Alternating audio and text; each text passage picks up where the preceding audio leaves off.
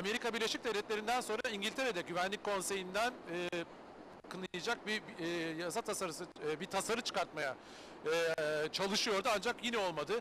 E, benzer bir tasarıyı 19 Aralık'ta Amerika Birleşik Devletleri de hazır- hazırlamıştı ve Esad yönetiminin sivillere düzenlenen e, saldırılar nedeniyle kınayan bir tasarı çıkartmaya çalışmıştı. Ancak Rusya bu tasarıyı engellemişti. Şimdi dün yine aynı şey oldu. Bu sefer İngiltere hazırladı.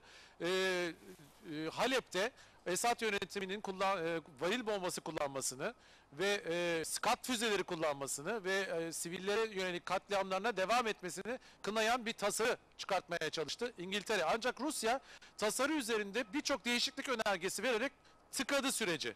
En sonunda da e, bloke etti e, ve bu tasarı çıkamadı. E, çıksaydı ne olacaktı? Bir e, yaptırımı var mıydı? Yoktu. Ama bu çok önemli. Sembolik olarak çok önemli. Esad rejiminin sivillere saldırdığı aslında bir anlamda e, e, doğrulanmış olacaktı Güvenlik Konseyi tarafından. Fakat Rusya ve Çin yine engellediler. Aslında Rusya'nın amacı hiçbir e, yaptırımı olmamasına rağmen bu tasarıları engellerken Esad yönetiminin tabii ki e, Esad yönetimine toz kondurmamak diyebiliriz belki de. E, şu anda Esad yönetimine destek veriyor Rus yönetimi ve kesinlikle Esad yönetimi eğer e, aleyhine bir şey çıkmasını istemiyor.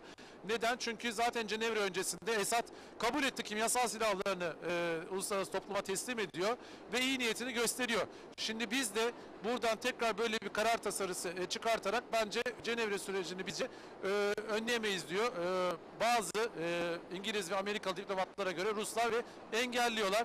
Mehmet Süver söylediğin gibi Rusya bir kez daha aslında hiçbir yaptırma olmamasına rağmen e, Esad'a e, biraz da laf söyletmemek için diyelim işe espriye vurursak e, e, bu tasarıyı engelledi. Birleşmiş Milletler Güvenlik Konseyi Esad yönetiminin sivillere düzenlediği saldırıları kınamak için bir fırsatı daha kaçırmış oldu diyebiliriz. Mehmet Sümer. Peki Serhat sözü senden alalım. Seni de daha fazla orada üşütmeyelim. Teşekkür ediyoruz aktardığın bilgiler için.